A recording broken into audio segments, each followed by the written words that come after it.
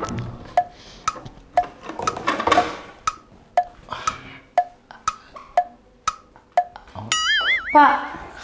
teman kak dulu ke toko sumber plastik. Ah. Besok ah. lebaran, baru habis semua apa-apa aku. Ayo Sekarang? Iyalah.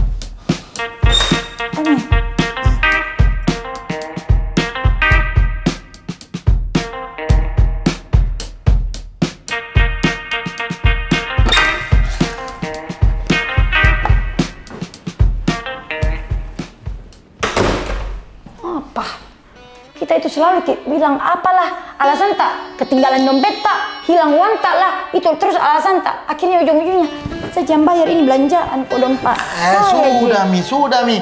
Kalau saya memang lupa uangku bagaimana? Nah, sekali-sekali gila barusan Tompi kita bayar itu. Tapi kita kan suami, kepala rumah tangga. Jadi wajar kalau kita bayarkan semua belanjaanku.